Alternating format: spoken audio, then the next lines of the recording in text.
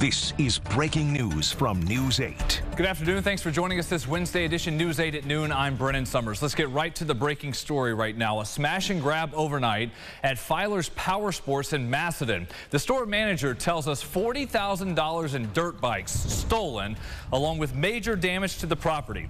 They tell us a truck crashed into the side garage twice because they had the front door blocked and then seven people got out of two cars and stole the bikes.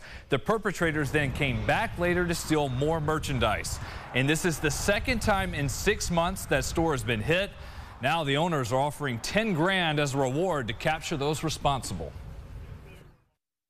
We're sick of it. We've been hit before. We've had stuff stolen over uh, a fence line and broken in before, and uh, we're, we're done with it. It's it's nerve-wracking. We're parking cars in front of doors. We're doing everything we can for security, and we've got probably about $100,000 in damage and missing items if you count the door and everything that's been stolen.